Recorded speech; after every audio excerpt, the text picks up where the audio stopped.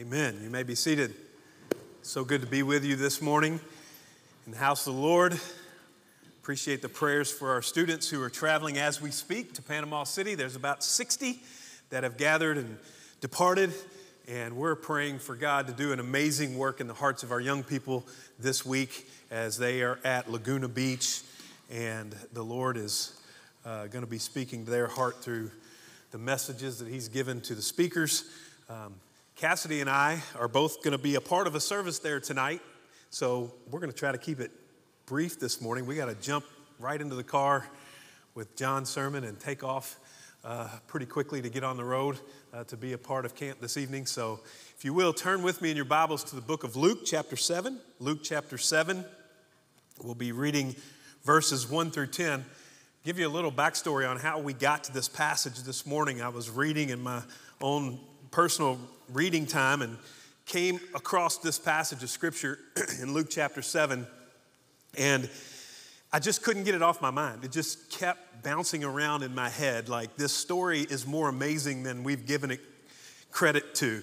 Uh, it's just it's just such an incredible story when you understand the culture of the time, how that this man who was a Gentile who was a Roman soldier, who was hated by the, the Jews, who was someone who probably would not have sat and listened to someone give a gospel presentation or talk about who Jesus was or claimed to be. This man is the one man in all of Scripture, in all of the New Testament. This is the one person that Jesus marvels at. No one else. There's never been anybody else. All the wonderful people that we read about in Scripture, no one, no human being did Jesus say, I marvel at that person, except for this one man. He didn't say it about John the Baptist. He didn't say it about Peter or Paul. He didn't say it about Mary, his mother. He didn't say that about anyone. But this one man, Jesus marveled at what he did. Now, what's very interesting about this is that according to what we see in Scripture, he never laid eyes on him, he never met him, he, he never stepped foot in his home. But yet, he's someone that so impressed Jesus. So, what was it about this man that impressed Jesus so much? Well, it was his faith. And nine times out of ten, when we see faith measured by Jesus in the Bible, it's from a negative perspective, isn't it? How many times do we remember Jesus say, Oh, ye of little faith? We've, we've heard that so many times. Where is your faith? Or if you could have faith, the grain of a mustard seed, you could move a mountain. It's always from a negative perspective. Like, you guys don't have any faith, and because you have no faith, you're so limited. There's so little that, that you're capable of doing because you won't place your faith in me. There are only two times in Scripture that we see Jesus marveling at all, at anything. The first thing we see is over in Mark chapter 6 when Jesus is speaking to his to the home crowd. He's, he's in Nazareth, where he was born or where he was raised. Uh, he's born in Bethlehem, but he's raised in Nazareth. He's, he's in Nazareth, his, his, his mom and dad's hometown. He goes into the synagogue, he begins to preach, and he begins to open up scriptures. He, he wants to share with them first that he is the chosen one, he is the called, he's the one that has come to do all that God said he would do for his chosen people and he reads the scripture and he sits down and they go, Nope, he's just, there's no possible way he is who he thinks he is. We watched him grow up. That's Mary and Joseph's boy. Like, uh, no. And the Bible says in that moment that Jesus marveled at their unbelief. But in this passage, we see Jesus, one of only two times in Scripture that he marvels at anything, he marvels at the belief of this Gentile Roman soldier who he never meets, but Jesus is so impressed. Let's, let's look at what impressed Jesus so much about this man as we look at Luke chapter 7, verses 1 through 10. Now, when he concluded all his sayings in the hearing of the people, now Jesus is just finishing up teaching uh, the Sermon on the Mount. Uh, this is the height of Jesus' public ministry. This is, this is well, it's, it's actually in the front end of his public ministry, but it, it's almost like he, he's, he started with shock and awe. He's healed a bunch of people. He, he has preached messages that have caused people to really stop and think. He's got this incredible group of people following him everywhere he goes, and now he's entered in Capernaum. It says he entered Capernaum, and a certain centurion servant who was dear to him was sick and ready to die. So when he heard about Jesus, he sent elders of the Jews to him, pleading with him to come and heal his servant. And when they came to Jesus, they begged him earnestly, saying that the one for whom he should do this was deserving, for he loves our nation and has built us a synagogue. When Jesus went with them, and when he was already not far from the house, the centurion sent friends to him, saying, Lord, do not trouble yourself for I am not worthy that you should enter under my roof. Therefore, I did not even think myself worthy to come to you. But say the word, and my servant will be healed. For I also am a man placed under authority, having soldiers under me. And I say to one, Go, and he goes, and to another, Come, and he comes, and to my servant, Do this, and he does it. When Jesus heard these things, he marveled at him and turned around and said to the crowd, I say to you, I have not found such great faith, not even in Israel. And those who were sent, returning to the house, found the servant well who had been sick. I love this story. There's so many incredible nuances to this story. And if you slow down and read it, you'll find characters and you'll find, you'll find principles and you'll find things that you can apply to your life that's almost a little bit hidden in this story.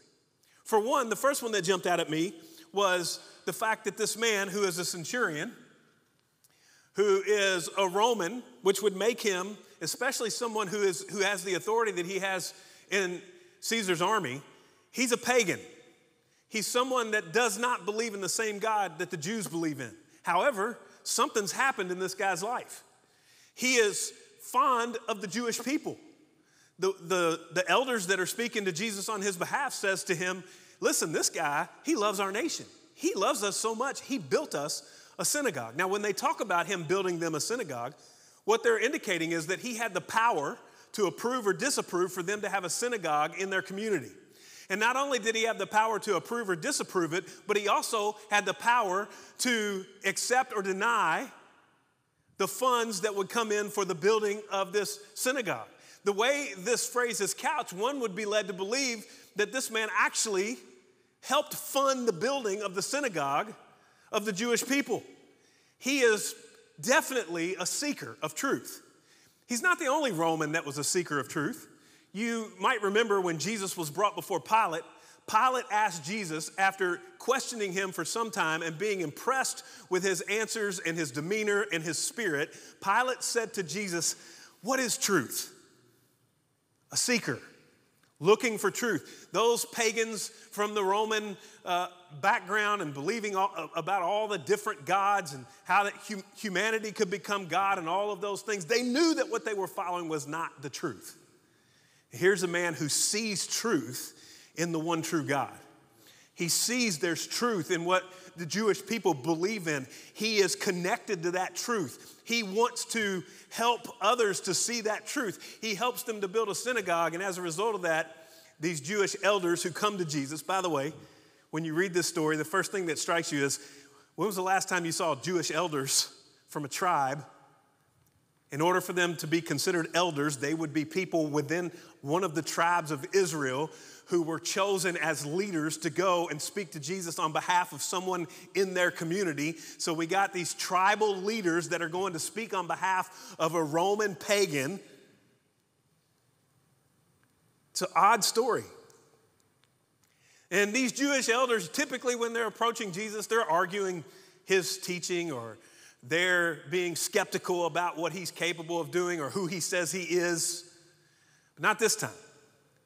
They come on behalf of someone that they love and respect. They come on behalf of someone who's been very good to them in the midst of a lot of oppression and a lot of darkness, where Roman centurions and other communities have been brutal and unfair. This one has been good and generous. And so they come on behalf of this centurion. And I think the first thing that jumps out at me at this story that I didn't notice the first several times I read the passage of Scripture was one little phrase that we find in verse 3. It says, So when he heard about Jesus, did you notice the invisible character in this story? Who's this invisible character that we don't see as we first read this story? We know Jesus is involved in the story. We know there's a crowd of followers behind Jesus. We know there are some Jewish elders from some tribe that are approaching Jesus on behalf of this, this Roman centurion who has a servant who is sick that he's very fond of. So we see all those characters. There's also a character in this story we don't notice right away, but he might be the most pivotal character in the whole story.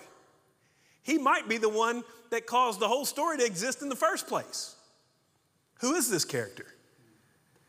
It's the one guy who tells a Roman centurion about Jesus. You know, you know how much courage it would take a Jew to approach a Roman centurion and tell him that there is one true God and his son Jesus is here and he's here for us and he's teaching the kingdom of God and he's healing people on his way and he's performing miracles and he is who he says he is. And when I read this story, I recognize very quickly that this story never takes place if the invisible character doesn't show up. So when he heard about Jesus, the Bible tells us faith comes by hearing and hearing by the word of God. So here's our first application. Here's our first hard question in this story. When was the last time you shared Jesus with someone that God placed in your path? Because here's what we see in this passage. This is an incredible story. The only time in all of Scripture where Jesus marvels at the faith of someone, and it only happens because some unnamed character was faithful to be a witness for Jesus Christ. This story doesn't happen without a witness. This story doesn't happen without someone who believes they have the gospel and that they need to share it. How many stories never happen because we hold the truth inside of us and choose not to share it with the people that God places in our path? How many stories, how many miracles never take place because we're silent when God asks us to be bold and courageous? So, the first thing we see is this invisible character who really caused this story to even exist in the first place. Then we see the elders. What's their story? The, the elder story is, well, first of all, I gotta, I gotta lead you to one more, one more word before we go further. It says, He sent elders of the Jews to him, pleading with him. I want you to notice this also about this Roman centurion. His authority in that area in Capernaum would allow him to demand that Jesus come to his house. He could have demanded that Jesus show up.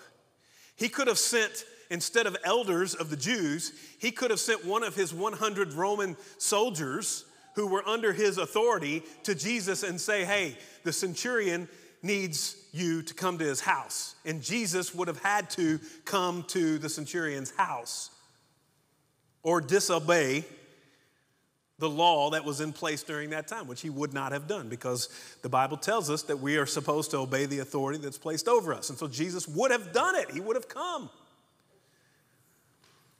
But you notice he doesn't do that. He doesn't demand that Jesus show up. You notice the heart condition of this man? Something's happened in him. He's not your typical Roman centurion. He's not the guy that most of Israel has to deal with in their community that's been placed there to keep the peace on behalf of Rome. This is nothing like the typical centurion, which reminds us that when someone is in Christ, he's a new creature. And old things are passed away, and all things become new. This is a completely different kind of human being who holds the job that he has. There's something else special about this guy. You see, as he's come to be a believer in Christ, and he is, we are all saved by faith. His faith in Christ is something that caused Jesus himself to marvel. What's interesting about him is that he doesn't allow his assignment to, to supersede his identity. See, a lot of men, especially, we're just built like this. The first thing we say about ourselves is what we do for a living. I love how Paul, when he wrote to Titus, he said, Paul, an apostle of Jesus Christ, bondservant of the Lord. He says, I have an assignment, but I also have an identity. This, this centurion, he goes, Listen, I have an assignment. It's given by Rome, but my identity changes everything about the way I do my assignment. I don't do it like the other centurions because my identity dictates that I'm different than they are. His, his identity supersedes his assignment. So I love that about the centurion. It says in verse 4 when they came to Jesus, they begged him earnestly. I love this because we don't see this anywhere else. Where do we see Jewish leaders begging Jesus? Usually they're condemning him or criticizing him or trying to trick him. Here we see them earnestly begging. Look at what God does. Look at what God puts together. And they didn't have to because the centurion could have demanded it, but they're begging. And, and they have a case. This guy's good. He's, he's generous and he's kind and he loves our nation. He's built us a house of worship. You should help him because of his works. You starting to see where I'm going with this? See, the religious leaders of the day couldn't get beyond a works based favor from God. Oh, we got to work. If we want his favor, we got to work for it. They couldn't get beyond that. I think Jesus sees past their lack of faith and he sees in the way that he's being invited instead of being demanded to come to the centurion's house. He sees something in this man and he looks beyond the mistakes that the elders are making, saying, Oh, come because of his great works. And so he's on his way, and then the centurion sends, sends some other friends. And Jesus is coming to his house. His, his prayer was answered. And then the centurion sends some other friends and says, Hey, listen, now that I've thought this all the way through, I don't know if I want you to come to my house. You see, there are probably some things that you haven't heard about me. I know those people built a case on my behalf, but there are some things they don't know. And because of my faith in you, I know that you know what they don't know. And as a result of you knowing what they don't know, I don't think I'm worthy to have you under my roof. And so Jesus says, in his mind, I'm sure, as he's hearing these new friends come and talk to him about this centurion's request, he thinks, well, okay, so do you want your servant to die? What's your play here? And then they continue. He says, I'm a man under authority and I'm a man who has authority. What he's saying to Jesus is if there's one thing I get, it's authority. The people who give me orders, I'm not capable of saying no to them because they have authority over me. And the people that I give orders to, whether they want to do it or not, they have to do it because I have authority over them. And I don't always have to go to every single soldier, all 100 of them that are under my command, and specifically tell them what they need to do. I can make a statement generally over all of the people who are under me, I can make that statement to one person. And as long as they know that it's my word, it's final. That's what authority looks like.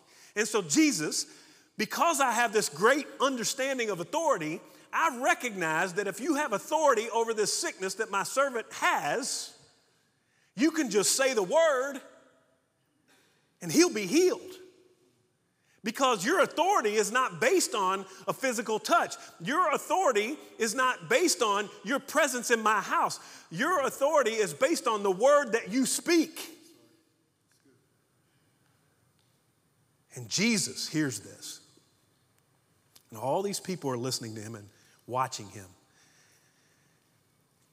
And it's interesting to me because we're in such a, a, a volatile political moment in our country. And, you know, what you say matters. Everything you say, you better weigh every word, especially if you're in a political race. If you're trying to gather followers, you better pay attention to every word you say and be super cautious how you say it because you don't want anything to be twisted and worked against you. And you, you got to be super careful. And Jesus is standing in front of all these people, and he says something that is absolutely not politically correct. He says, in essence, this Roman could teach all you Jews a lesson. He says, This Roman has a faith that I haven't seen from any of you people here that brag on how righteous you are. I haven't seen faith in you like I see in this Roman soldier. There's something about him that's genuine, it's real. And there's an understanding in him of my heart that you don't have. And so Jesus makes the statement that I, I marvel at this. Then the rest of the story kind of goes like the servants, all of them, the elders, and the second group of friends that came to see Jesus, they all go back to the house. And when they get there, the servant is completely healed. Now, he was ready to die, but now he's completely healed. So there's a few things from this story that I think are important to us if we'd like to have the kind of faith that this centurion had. Now, I want to give you three quick points and then we'll be done. Number one, three attitudes that lead us to marvelous faith.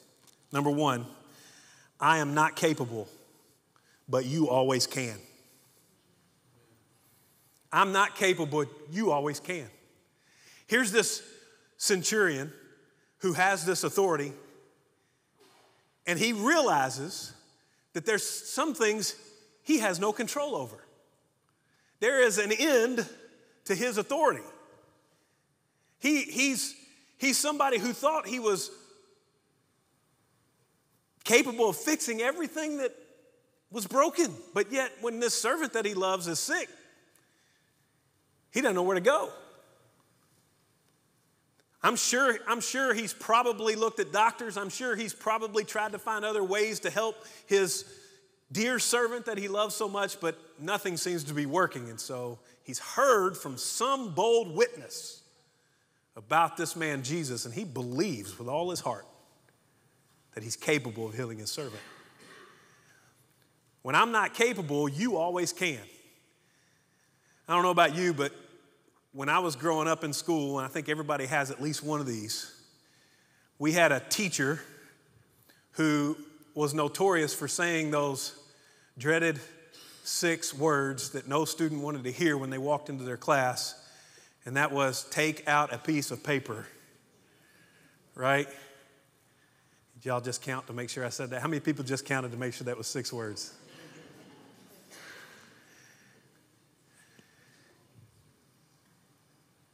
What that meant was he was about to give us a pop quiz, right? Nobody likes pop quizzes. Matter of fact, nobody likes teachers who give a lot of pop quizzes. But a teacher will give them, and I'd ask that teacher, even as you get older, why? Why did you give us pop quizzes? Why in the world would you give a pop quiz? I heard a, another pastor who talked about pop quizzes, and he said that a teacher told him one time that the reason that you give pop quizzes, this is, this is interesting. The reason a good teacher gives a pop quiz is because in life you never know what's going to land on your desk from one day to the other. And you need to be prepared to handle those things that you didn't see coming. Pretty interesting. Do you know life hands us a lot of pop quizzes, right? We get a lot of pop quizzes that land on our desk every day that we don't see coming. But thank God that these pop quizzes are all multiple choice, right? Four different options that we can choose from. Number one, handle it by yourself. A, handle it by yourself.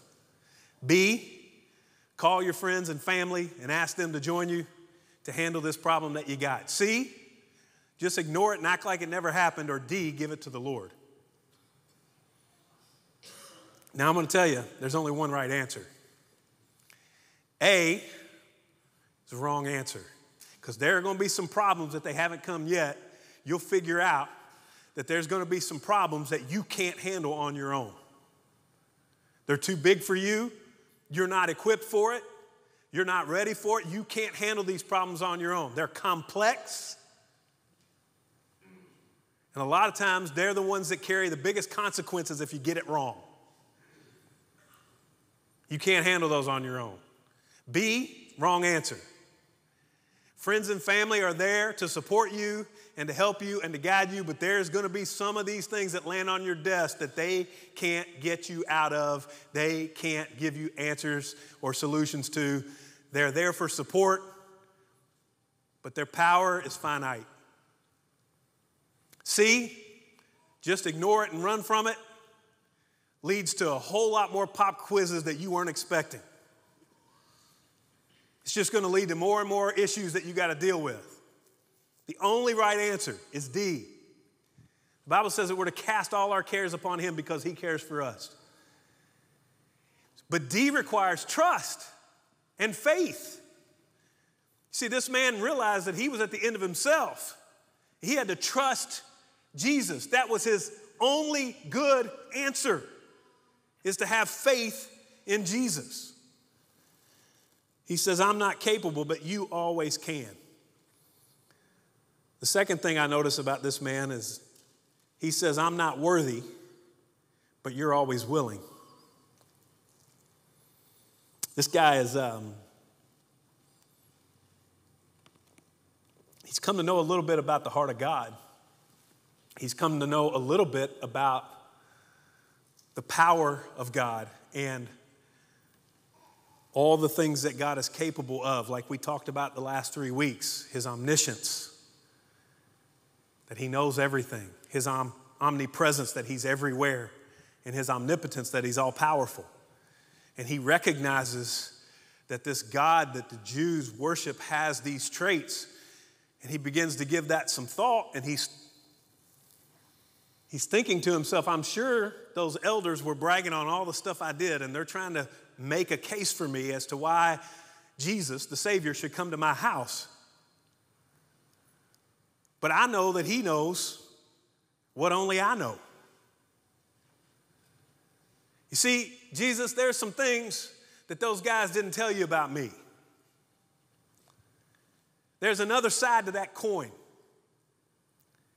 There's some stuff that I know that you know that makes me feel really unworthy. As a matter of fact, I feel so unworthy that I, I don't even feel like I should have you in my house. I feel so unworthy that I don't feel like I should be in your presence.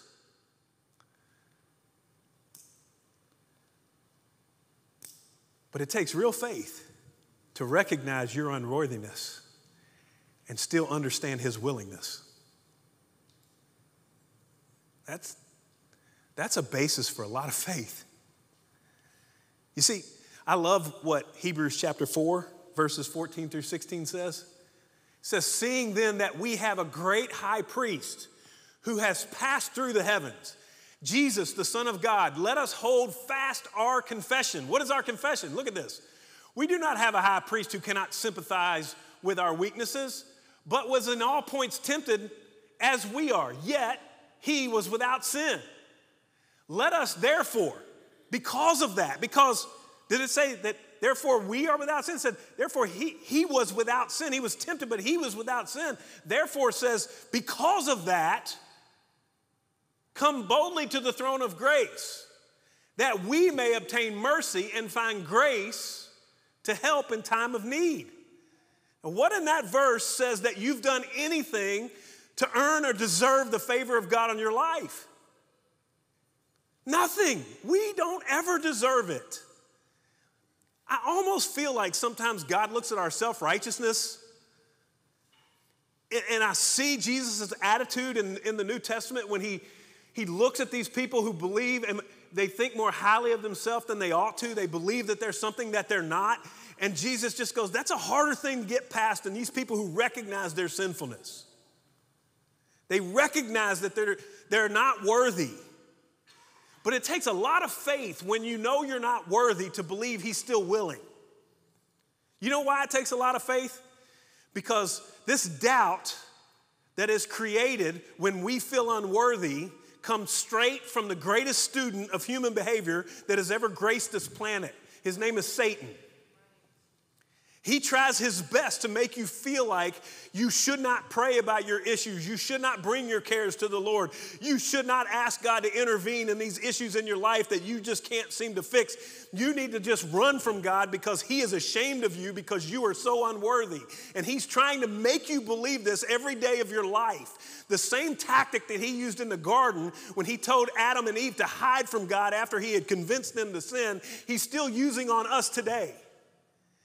And he's saying, run from God. He is mad at you. He doesn't get you. He feels like you're a disappointment to him. You need to run in the other direction. And Jesus and the Holy Spirit are saying, no, that's not how our Father works. You don't run from him. When you are at your lowest point, run to him. It takes a great faith to recognize that even when you're unworthy, he's still willing. Jesus saw that faith in this man. I love the fact when Jesus paints this picture in the parable of, of what we call the prodigal son, that, G, that the father, who is, G, who, is, who is God the Father in the story, runs to his son in his nasty condition, still smelling like the pig pen. He drapes himself around his stinky, son with matted hair and looks like he hadn't taken a bath in a month. And he wraps himself around him and he kisses him. He completely ignores his condition because he's completely focused on his position. That's my son. And I don't care how he smells. And I don't care if he's filthy. My love for him is unconditional takes great faith to recognize that even though we're not worthy, He's still willing. Lastly, this man taught us that my authority is finite, but your word is final. My authority is finite, but your word is final. We are way too dependent on how we feel about our circumstances. First thing we do is wrap our mind around everything we find ourselves caught by, right? I don't think that's a bad thing. Our mind is also called our heart. You know, whenever you see the word heart in scripture or hear people talk about following your heart or whatever it is, it's not that muscle that's pumping blood in the middle of your chest, right? It's like your, your mind. You always hear in these movies, follow your heart. Although God says, don't follow your heart, it's deceitfully wicked. Who can know it? Our heart will tell us things that aren't true a lot of times. Our heart will tell us to give up when God is telling us it's way too soon to give up. Our heart will tell us there's no way out when God says, I will never put you in a spot where there's no way out. Our heart will tell us there's no way we're going to make ends meet this month when our God says, I've never seen the righteous forsaken nor a seed begging bread. Our heart tells us that this thing couldn't have ended up any worse. When our God tells us that all things work together for good to them who love the Lord and are called to, according to his purpose. Our heart tells us lies all the time, and we believe our heart instead of believing the final word, the final authority that is the Word of God. The thing I love about this man was that he realized when Jesus said something, it was final, it was authoritative, and it was over. Jesus could say whatever he wanted to say, and his authority would dictate that that's exactly what was going to happen. I love what 2 Corinthians 10 5 says that we are to take every thought captive and make it obedient to the Word of God. Isn't that good? Take every thought that you think and make it obedient to the Word of God. Hold on, wait a minute. My, my heart's lying to me again. I know it's deceitfully wicked. Who can know it? It's lying to me. Take it captive and make it obedient to what God said about that situation. Take that thought captive and tell that thought that you will come under the authority of the word of Jesus Christ. That's what I love about this man. He understood the authority of the Word of God. Do we understand the authority of the Word of God? Church, can I just say this? We better understand the authority of the Word of God. We better be teaching our children the authority of the Word of God. By the way, you can't know the authority of the Word of God if you don't know the Word of God. Amen. Your children can't stand on the Word of God if they don't know the Word of God. You got to bring your kids to church. You got to put them in programs like Wednesday night where they learn Bible verses and, and build a foundation. They got to stand on the authority of the Word of God. I know you think that they ought to miss church because they're the next A Rod. I know. I know they're the next Michael Jordan, and if they don't, if they miss this tournament, you know, they're just they're not going to get that college scholarship, and their pro career is going to go out the window. I know you think that. Okay? But I'm going to tell you something that's a whole lot more important than all that is that they be strong in the knowledge of the Word of God. His word is final. The culture's word will change. Look how fast it changes. It's crazy, isn't it? This is what's right, this is what's wrong. Changes almost daily. Almost every news cycle, it changes from one moment to the next. It just keeps changing. One thing that never changes is the Word of God, and it's final in its authority. Do not be tossed to and fro by every wind that blows here on this earth. Stand firm on the Word of God, it's the final authority. Don't change your view because culture says so when God's Word is spoken very clearly on an issue. Teach your kids how to stand firm on the final authority, the Word of God. I love about this man that he said, God, he said, Jesus, you have the authority to cast out sickness by just your word. Here's the last point I want you to catch. When the, author- when the authority of the word of God entered into that centurion's house, his house was healed.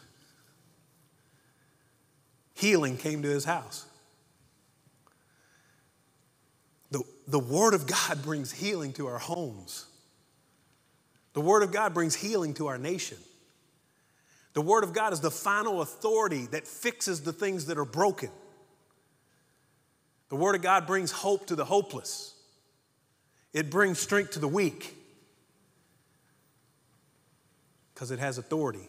There's nothing on this earth that can stand against the Word of God. So don't ever forget it. You want great faith? Recognize that when you're incapable, He still can. You want great faith? Recognize that when you're not worthy, He's still willing. Recognize that your authority is finite, but His word is final. And when we come to that place, God will look at us and say, Look at that faith. See, the only thing that God could ever be impressed about us for would be our faith. We got nothing else to offer. Is our that's all we got is our faith. Aren't you glad that you're saved by your faith? Anybody other than me glad that you're saved by your faith? Aren't you glad you're not saved by your works? Aren't you glad that you're not saved by the amount of righteousness you can drum up? Aren't you glad? Because guess what? We're all falling short.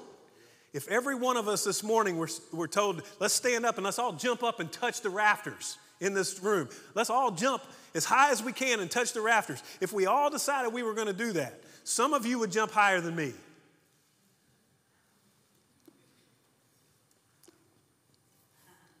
But the distance between you and I is nothing like the distance between us and the ceiling. Some of us look around and go, I'm a lot better than he is. Yeah, you're still really falling short. Don't trust in yourself.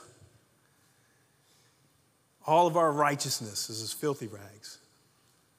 But thank God we're not saved by our righteousness. We're saved by the grace of God through faith. So let's all work on increasing our faith. Father, we ask you now that we might be a people that would be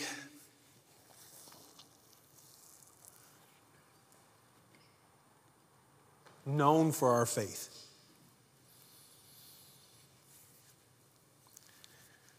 We just believe God. We just take God at His word. We're not a perfect people. We're not a people that gets it all right every time, but our faith in the authority of God is strong. So, God, I pray that we'll place and continue to place our faith in you. Lord, as the disciples asked Jesus, we ask you this morning to increase our faith. Father, I pray that if there be someone here this morning who does not know you as their Lord and Savior, who's never placed their trust in you, who's never placed their faith in Jesus, as the one who took their place for their sins and shed his blood so that they could be cleansed of their sins. If there's one here that does not know Jesus as their Lord and Savior, that today might be a day when they take their most important step of faith and they leave where they're seated and they come and speak to someone about their need to place their faith in Jesus as their Savior. So, God, have your way and may your Holy Spirit do a work that we cannot do. And we'll thank you for it in Jesus' name. Amen.